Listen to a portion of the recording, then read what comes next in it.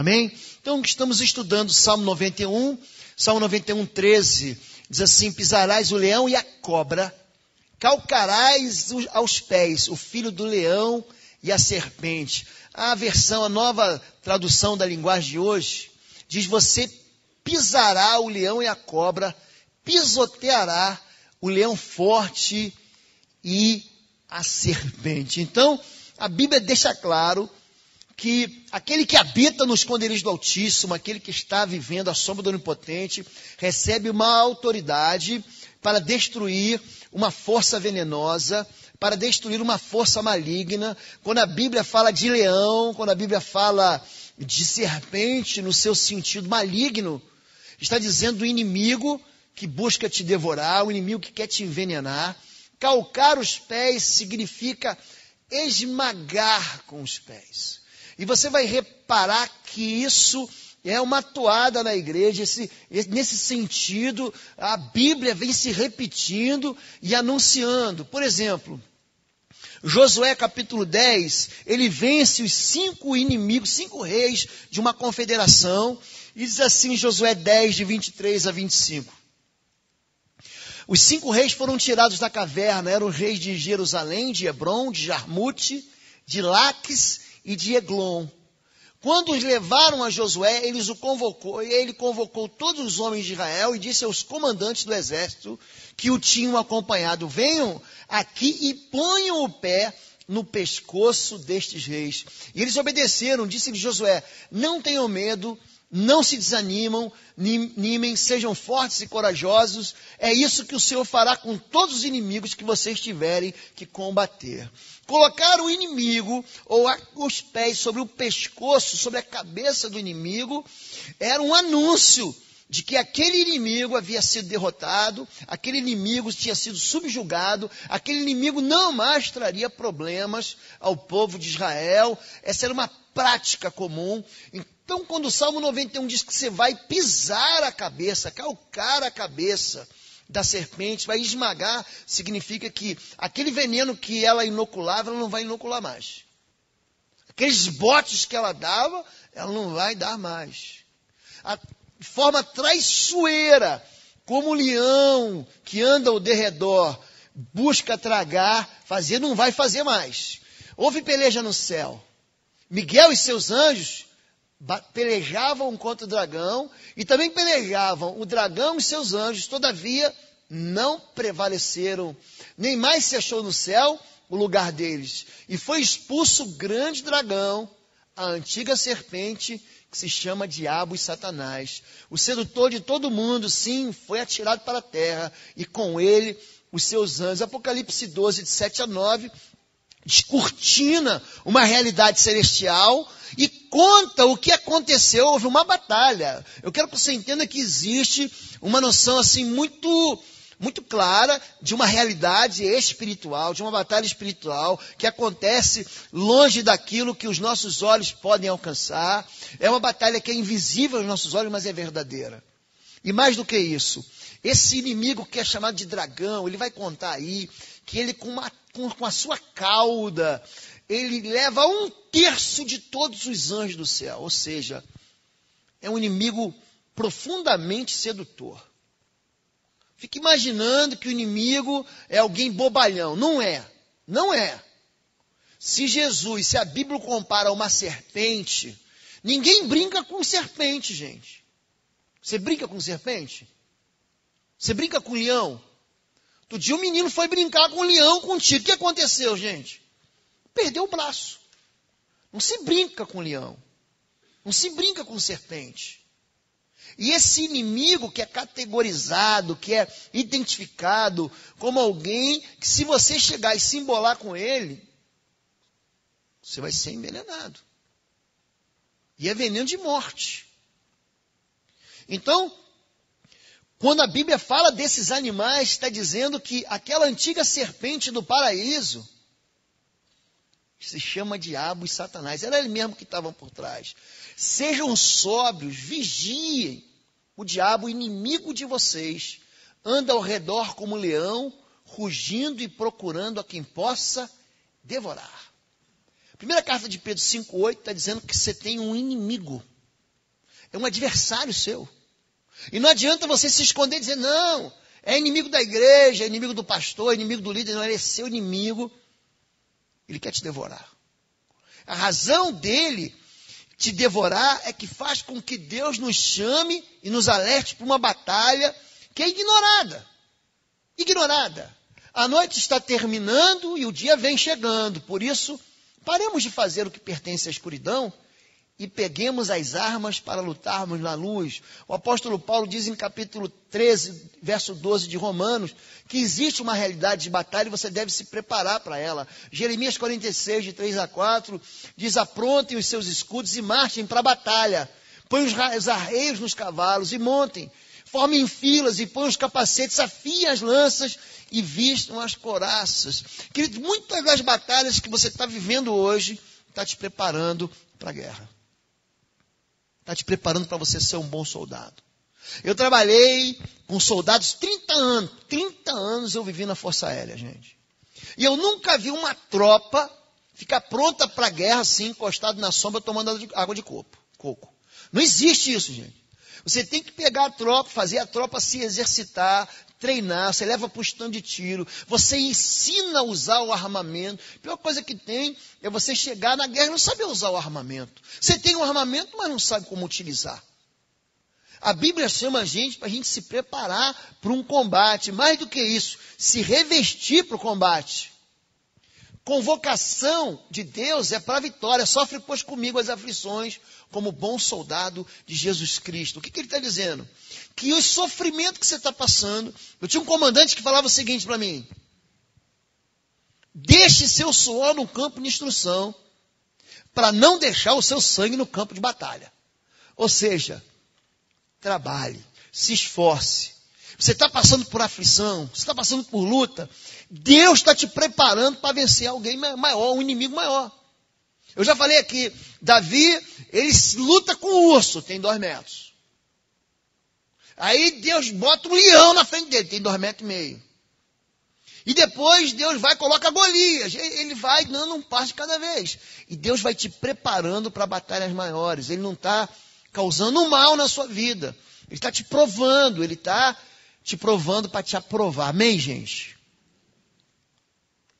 Finalmente, irmãos meus, fortalecei-vos no Senhor e na força do seu poder.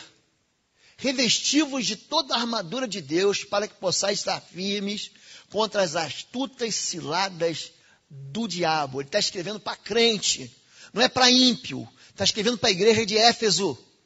Porque não temos que lutar contra a carne e o sangue. Ou seja, eu não luto contra as pessoas que estão perto de mim, não é o papai, não é o filhinho, não é a namorada, não é o chefe, não é o empregado, não é o juiz, não é o professor, não é o aluno.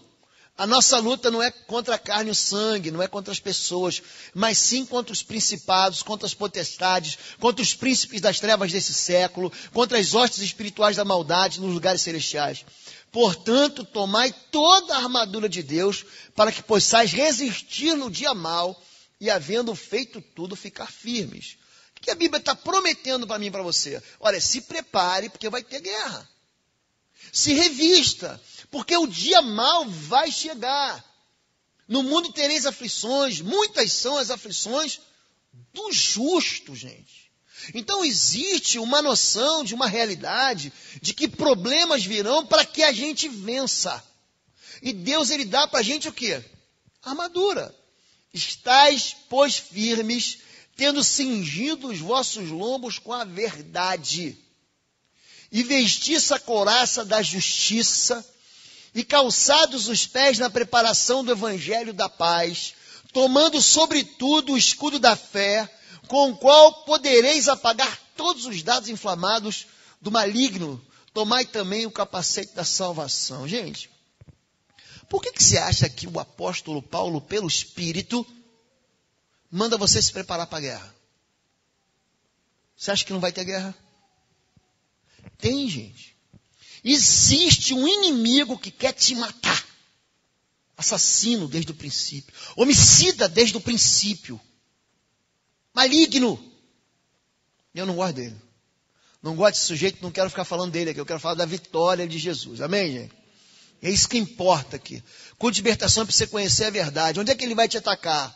Ele ataca você na verdade. Por que, que ele manda você se revestir com a verdade? Por quê? Porque é aqui que ele vai te mentir. Ele é mentiroso, é pai da mentira. Ele vai dizer para você coisas como não tem jeito na sua vida, é impossível, não vai acontecer, isso nunca vai chegar, você nunca vai conseguir. Mentira. Ele vai atacar você com injustiça, com pecado, com orgulho, para você achar que quem te salva é tua religião, para você, você achar que quem te salva é a tua inteligência, é a tua capacidade emocional, é a tua capacidade de superar crises. Isso é mentira. Gente, as nossas justiças são como trapos de imundície, não tem valor nenhum. Ele vai atacar o que, gente? O teu sossego. Ele vai trazer para você notícias ruins. Evangelho são boas notícias, boas novas. Em vez de ele trazer para você um tempo de paz, ele vai trazer notícia de guerra. É isso que ele faz. Ele vai atacar sua fé. E a fé da gente é atacada com o quê, gente? Com medo. Com dúvida. Ele quer mesmo que você tenha muito medo. Muito medo, que ele te desabilita. Ele pega o soldado iniciando a guerra, faz estourar uma bomba do lado dele para ele ficar com, com, com crise de medo na guerra. E ataca a tua salvação. Como é que ele rouba a tua salvação? Fazendo você crer, fazendo você crer que você perdeu a salvação. Tem gente que faz isso, gente, faz striptease, eu falei aqui na semana passada, faz striptease da armadura, joga o capacete da salvação para um lado, chuta a bota da preparação do evangelho para trás, joga o escudo da fé para o outro lado. E aí ele fica debaixo dos ataques do inimigo. Quando Deus fala de guerra para a gente, armadura para quê, gente? Para que possais estar firmes contra as astutas ciladas do diabo. Para que possais resistir no dia mal e, havendo feito tudo, ficar firmes. O que, que significa isso? Que o inimigo vai tentar me atacar. Ele vai tentar me atingir. Essa batalha espiritual, 1 Samuel 17, quando Davi ele fala com o gigante, ele diz o seguinte, ó, e saberá, ele profetiza, saberá toda esta congregação, que o Senhor salva, não com espada, nem com lança, porque do Senhor é a guerra, e ele vos entregará na nossa mão. Gente, de quem é a guerra, gente? De quem é a guerra, gente? É do Senhor. A minha luta é contra um ser espiritual. Eu consigo lutar na carne, gente? Eu consigo vencer o inimigo, gente, gritando, brigando, saindo no tapa com ele. Eu tenho uma pistola, dou um tiro nele, ele vai morrer, gente. Eu lanço uma bomba atômica sobre ele, vou resolver, gente. É um ser espiritual, você não atinge ele, você vai estar dando um soco no vento. É por isso que Deus é espírito. E ele é o Senhor da guerra. Ele é o Deus que vence as nossas guerras. Mas ele prepara a gente. Ele treina a gente. Salmo 18, 32, 35, também escrito por rei Davi. Ele diz: Deus é o que me cinge de força e aperfeiçoa o meu caminho. Faz os meus pés como os das servas. E põe-me nas minhas alturas, ensina as minhas mãos para a guerra, de sorte que os meus braços quebraram um arco de, bron de cobre também me deste o escudo da salvação. A tua mão direita me susteve, a tua mansidão me engrandeceu. Nós somos treinados. Alguns lutam. Por que, que a tua batalha. Você vai, meu vizinho está numa tranquilidade, pastor, a luta que eu estou vivendo. Deus, ele conhece a estrutura da gente. Ele conhece a maturidade da gente. Para uns ele vai dar uma guerra, vai, você vai, vai, vai, você vai é, tomar uma cabeça de praia muito mais difícil que do teu vizinho, do que o do teu pai, do que o do teu filho, porque ele conhece a estrutura de cada um de nós. Então, quando Caleb diz, eu quero a fortaleza dos amorreus, onde moram os gigantes, gente, Todo mundo escolheu um lugar tranquilo. Teve, teve, quando você vai dividir a terra, quando você vai tomar a promessa, são 12 tribos de Israel. Teve gente que não quis nem ir lá para dentro da promessa. Tem, tem crente que é assim, não, aqui tá bom mesmo. Não, mas ainda é deserto. A nossa terra fica além do Jordão. Não aquém do Jordão. É para lá. A terra da promessa é daqui para lá. A terra que manda leite e mel. Não, aqui tá bom. É É um desertinho menos árido. É um desertinho assim, o solzinho aqui eu passo um sandal. Eu fico por aqui mesmo. Tiveram duas tribos e meia que não quiseram o melhor de Deus. Então, não enfrentaram grandes gigantes, não tiveram grandes vitórias e também não alcançaram as maiores promessas. E a última tribo a escolher lugar é a tribo de Judá. Quando Caleb, ele chega e fala assim, eu quero aquele lugar. Era o pior, era uma, era uma montanha, gente. E lá tinha a fortaleza dos jebuseus. Ele fala, eu quero aquele lugar lá. Eu quero o melhor lugar. Porventura o Senhor não será comigo. Porque nenhuma das suas promessas caiu. Lembra o que, que ele fala em Números 13? Eia! Ausentou-se deles a sua força, os inimigos estão tremendo de medo. Nós vamos devorá-los como pão. Treinados para vencer. Deus treina cada um de nós. E quando você vê a luta, pode falar: Deus está me preparando. Meu irmão, começa a fazer musculação espiritual. Ora, jejua, busca Deus porque ele vai te dar vitória. Agora, de onde vem essa autoridade para vencer, então, o inimigo e as trevas? E lhe disseram: com que autoridade fazes tu essas coisas? Ou quem te deu tua autoridade para fazer essas coisas? Marcos 11, 21. Os fariseus religiosos veem Jesus expulsar demônio, curar enfermo. Jesus faz paralítico andar, faz cego ver, faz mudo falar. Ele submete os espíritos imundos. Com que autoridade? De onde vem autoridade, gente? De onde que vem isso? Então disse Deus: façamos o homem a nossa imagem, conforme a nossa semelhança. Domine, presta atenção nessa palavra. Ele sobre os peixes do mar, sobre as aves do céu, sobre os animais grandes de toda a terra e sobre todos os pequenos animais que se movem rente ao chão.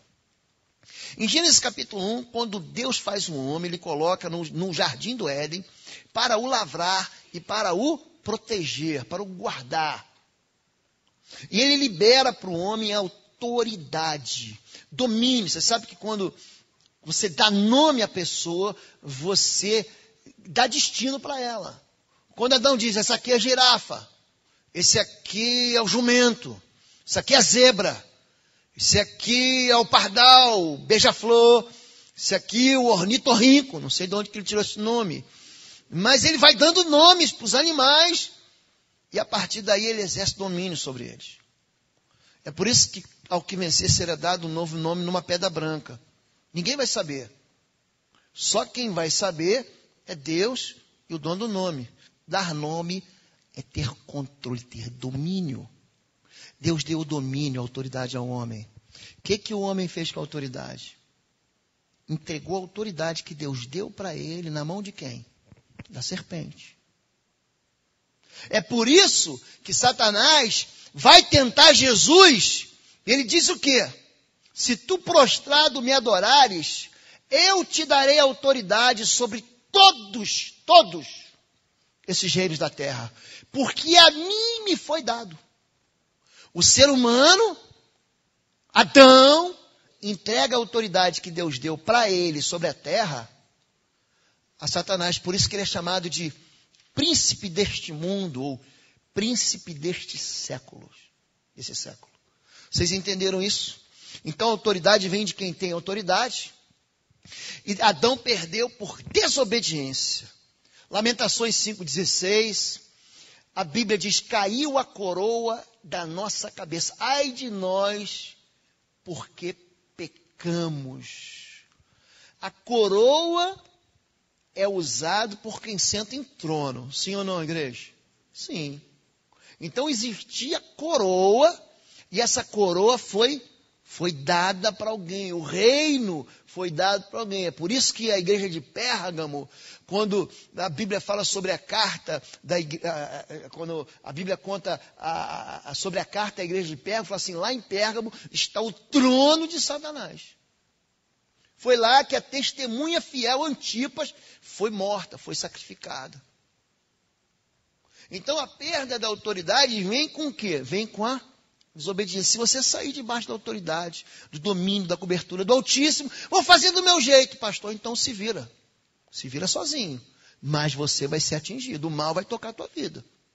Aí não adianta falar o resto dos ah, praga não chegará à minha tenda. Chegará sim. Não temerei o terror noturno. Ai, pastor, que medo da noite. Vai temer. É só você desobedecer. Quanto mais servo, mais autoridade. Foi assim que Jesus resgatou a autoridade, arrancou a autoridade que tinha sido dada para o diabo, ele tomou de volta. Mas Jesus, chamando-os a si, disse: Sabeis que os governantes dos gentios senhoreiam, algumas versões assenhoreiam sobre eles, e sobre eles os, é, os grandes exercem autoridade. Não será assim entre vós. Pelo contrário, quem quiser tornar-se grande entre vós, será aquele que vos sirva. E quem quiser ser o primeiro entre vós, será o vosso servo. Mateus 20, 25, 27 está dando a chave para você ter autoridade para quê? Para pisar na cabeça da serpente. Chama-se serviço. É dentro do serviço, dentro da igreja, o menor ele sempre vai ser o maior. O que serve sempre vai ser maior do que aquele que é servido. Apóstolo Paulo, Romanos 1:1, diz: Paulo, servo de Jesus Cristo. Já viu a autoridade desse homem, gente? A autoridade do apóstolo Paulo? Ele é um homem de autoridade. Você pode falar, pô, pastor, se deu mal, passou metade da vida dele na cadeia. Ele, na cadeia, ele converteu metade daquele mundo conhecido lá. E aquilo que ele escreveu pelo Espírito é pregado hoje, 2014 anos depois que esse homem já, já, foi, já foi embora. Amém, gente? A autoridade vem com serviço. Jesus, obediência. Ele reconquista a autoridade tecendo uma coroa de espinhos. Lembra da coroa que foi tirada? Porque pecamos. Jesus em tudo foi obediente e tecendo uma coroa de espinhos, puseram-lhe na cabeça, em sua mão direita uma cana, e ajoelhando diante dele, o escarneciam, dizendo: Salve, Rei dos Judeus. Mateus 27, 29. Aqueles soldados que colocaram uma coroa de espinhos na cabeça de Jesus, não sabiam que eles estavam anunciando o Evangelho. Gente, o que é espinho na Bíblia? O que é? Porque desobedeceste porque tu destes ouvidos à tua mulher, maldita é a terra, e dela nascerá espinhos e abrolhos e ervas daninhas. Quando Jesus recebe sobre si a coroa de espinhos, ele está dizendo o seguinte: a maldição que havia sobre vocês, eu estou recebendo de volta. Eu estou levando ela para a cruz. Eu estou resgatando a autoridade que vocês perderam, que Adão entregou para o diabo. Eu estou pegando ela de volta. Os 24 anciãos, Apocalipse 4, 10, dá uma visão do reino de Deus. Ali você não vê um monte de coisa que as pessoas pintam em quadros, fazem imagens. Ali eles veem 24 anciãos falando das colunas dos 12 apóstolos e dos 12 e dos 12 é, doze tribos de Israel, prostravam-se diante do que estava sentado sobre o trono, Jesus. O adoravam, o que vive para todo sempre, e lançavam suas coroas diante do trono. Apocalipse 4,10 está dizendo que a autoridade na igreja não está nas mãos de um homem, está nas mãos do Senhor. Deus, Jesus de Nazaré, é o Senhor da igreja. Ele é a rocha sobre a qual a igreja está firmada. Ele é a pedra angular que os edificadores rejeitaram. Amém, gente? Jesus, ele reconquista a autoridade. Autoridade, gente, ela vem agora do trono. As coroas foram lançadas diante daquele que estava sentado no trono. Por meio da ressurreição de Jesus Cristo, que subiu ao céu. Ele está no trono, ele está à direita de Deus. A ele estão sujeitos anjos, autoridades e poderes. Primeira carta de Pedro, capítulo 3, verso 1 e 22, está dizendo que Jesus recebeu toda a autoridade. Esse poder ele exerceu em Cristo, ressuscitando dos mortos e fazendo assentar-se à sua direita nas regiões celestiais. Muito acima, lá no Altíssimo, tá, gente? Muito acima de todo governo e autoridade, poder e domínio, e de todo nome que se nomeia, ou que se possa mencionar, não apenas nessa era, mas também na que há de vir. Deus colocou todas as coisas, eu gosto dessa palavra aqui, todas, ela inclui tudo. Todas as coisas debaixo de onde, gente? De seus pés. E o designou como cabeça de todas as coisas para a igreja, que é o seu corpo. A plenitude daquele que enche todas as coisas em toda e qualquer circunstância. Efésios capítulo 1, de verso 20 a 23, está dizendo o seguinte.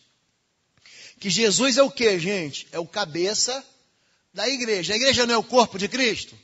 Então imagine aqui, Jesus é o cabeça e a igreja é o corpo. E ele colocou tudo debaixo de que, gente? Dos pés do corpo. Preste atenção. Mateus 16, quando Jesus diz: Eu vos dou autoridade para pisar serpentes, escorpiões, todo o poder do mal, as portas do inferno não prevalecerão na igreja. Aquilo que você concordar na terra vai mover o céu. Aquilo que você ligar na terra vai interferir no céu. Vai ser ligado, vai ser concordar no céu. Ele está dizendo que existe autoridade na igreja. É por isso que homem e mulher que fique sem igreja pode ter sido magoado, ferido, pode ser de alguma maneira saiu porque não se encontrou, não encontra uma visão que é alinhada com ele mesmo fica sem autoridade. Você pega o exemplo da cidade de refúgio, Josué, Deuteronômio fala sobre isso. Quando você sair de uma cidade de refúgio para outra, você está em Gade, Gade e está indo para Hebron, são cidades de refúgio. Se o vingador do sangue te pegar no meio do caminho, você não está protegido, não. Você tem que estar tá na igreja. A gente pega logo carta de transferência. Ó, Está em todo aqui, mas já estou com uma carta de transferência para outro. É dentro da igreja que nós estamos protegidos. Existe uma, um cuidado espiritual, uma fortaleza espiritual que te protege. Vocês entenderam? Ministério de gente, ah, eu sou do ministério tal. Quem é teu, pergunta logo, quem é teu pastor? Não tem. Então, meu filho, você está tomando tiro do inferno. Você está sujeito a receber flechada de fogo do inimigo. Você não tem proteção, não. Esse é um princípio, gente, que não vai ser, não pode ser revogado, não pode ser retirado. Então, os pés são a igreja. A serpente foi julgada e amaldiçoada, então disse o Senhor à serpente: Porquanto fizeste isso, maldita serás. Mais do que toda fera, mais do que todos os animais do campo, sob teu ventre andarás, pó comerás todos os dias da tua vida. Porém, inimizade, olha só como é que é inimigo mesmo entre ti e a mulher, entre a tua semente e a sua semente, esta te ferirá a cabeça e tu lhe ferirás o calcanhar. Gênesis 3, 14 e 15 está repetindo aquilo que Salmo 91 já está dizendo. Você vai esmagar a cabeça. O que é uma maldição, gente? É um ciclo de repetições. É um ciclo de repetições malignas sobre a vida da pessoa. O que Jesus ali, o que Deus está dizendo ao amaldiçoar a serpente é o seguinte: a descendência vai destruir você para si ele vai esmagar a tua cabeça. Esmagar a tua cabeça. Então nós somos vocacionados para vencer a serpente. Havendo riscado a cédula que era contra nós nas suas ordenanças, a qual de alguma maneira nos era contrária, e atirou do meio de nós, cravando-a na cruz e despojando os principados e potestades, os expôs publicamente e deles triunfou em si mesmo. Sabe por que está dizendo isso aqui, gente? Que na cruz, Jesus arrancou a armadura de Satanás. Ele arrancou as armas de Satanás. Por isso, quando você dá uma ordem no mundo espiritual, ele é rebelde, mas tem que obedecer. Quando você diz sai, ele tem que sair. Você precisa entender que essa autoridade, querido, que nós perdemos, no Éden, foi reconquistada por Jesus. Isso é sério demais para você ignorar isso. Isso é sério demais para você deixar isso passar na sua vida. O soldado que está revestido de guarda de trânsito aqui da rua, gente, ele pode ter brigado com a mulher dele, pode estar até divorciado. Ele pode estar passando por um problema de enfermidade, ele está pode estar lutando contra um pecado, mas ele continua sendo autoridade. E se você sair daqui com um carro, ele fala, encosta, você encosta o carro. Você pode ser deputado, você pode ser governador, você pode ser juiz, você pode ser bacana, inteligente, ter doutorado, mestrado. Ele, o soldadinho que tem um segundo grau vai falar, para, e você vai parar. O nome disso é autoridade. Querido, olha para mim aqui. Você tem autoridade. Para que agora, pela igreja, olha a igreja proclamando a sentença sobre o mal. A multiforme sabedoria de Deus seja conhecida de quem, gente? Dos principados e potestades nos céus, segundo o eterno propósito que fez em Cristo Jesus, nosso Senhor. Efésios capítulo 3, de 10 a 11, está dizendo o seguinte: que a igreja manifesta esse poder. Manifesta a multiforme sabedoria. Gente, quem é a igreja? Quem é? Diz assim: sou eu. Eu sou a igreja de Jesus. Então, quando alguém fala para você, vamos à igreja, você diz, não, eu sou a igreja. Nós vamos nos reunir como igreja, mas eu sou a igreja. Vós sois a minha igreja, vós que me amais e obedeceis os meus mandamentos. Amém? Jesus transfere do trono a autoridade reconquistada. O negócio vai ficar bom agora, gente. Jesus aproximou-se deles e disse: foi-me dada toda a autoridade no céu e na terra. Mateus 28, 18. Então Jesus já ressuscitou. Ele já foi lá, já foi lá no inferno e falou: me dá de volta aqui, Satanás, que é meu. A autoridade é minha. Ele já tomou de volta toda a autoridade. Lembra? Os anciãos já jogaram a coroa para ele. Ele já recebeu todo o poder, todo o domínio, toda a majestade, toda a glória, toda a honra é de Jesus. Deus nos ressuscitou em Cristo e com eles nos fez assentar nos lugares celestiais em Cristo Jesus. Sabe o que, ele está dizendo? Que vós sois sacerdócio real, nação santa, povo adquirido. Querido, você está no trono, nos lugares celestiais.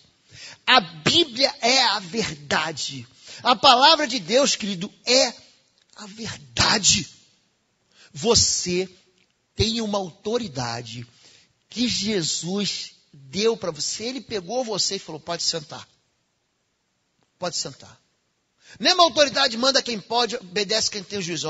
Uma autoridade de servo. Autoridade de servo. De gente obediente. De gente que não faz negócio com pecado. De gente que, negocia, que não negocia fé. Jesus, ele transfere para a gente. Lucas 10, 17, eu gosto demais dessa passagem. Então regressaram os 70 possuídos de alegria, dizendo: Senhor, os próprios demônios se nos submetem pelo teu nome. Mas ele lhes disse: Eu via Satanás caindo do céu como relâmpago.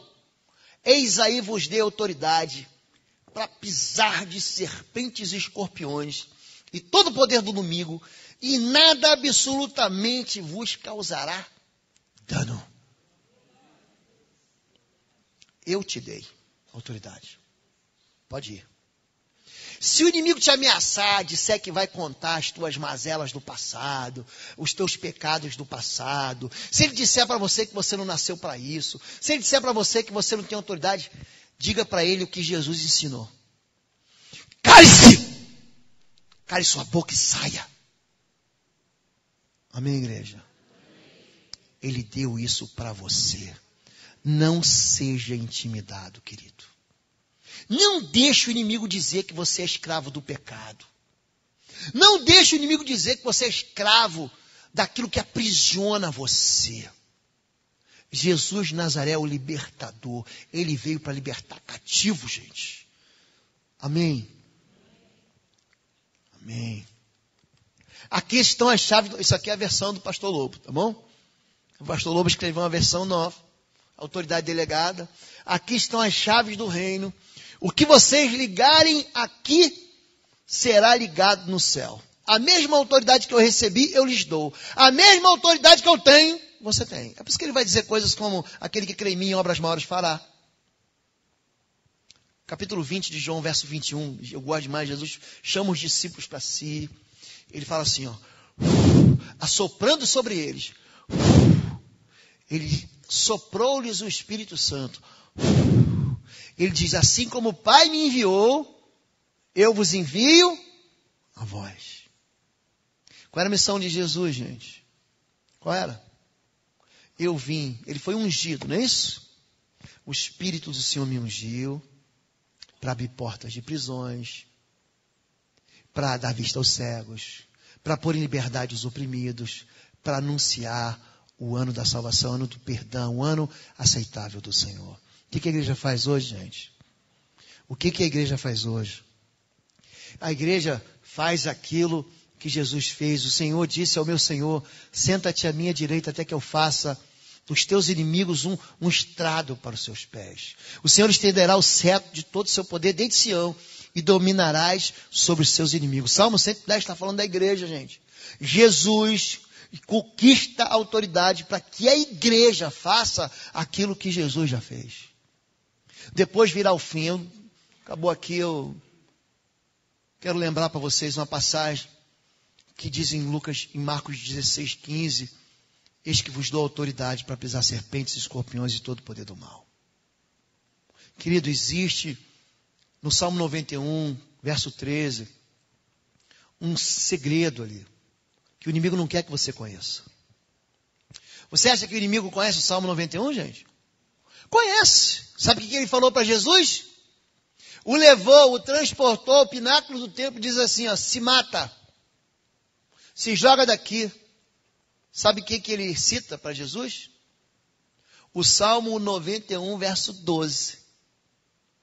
Verso 11 e 12. Porque aos teus anjos está escrito. O que, que ele diz? O que, que ele diz dos anjos?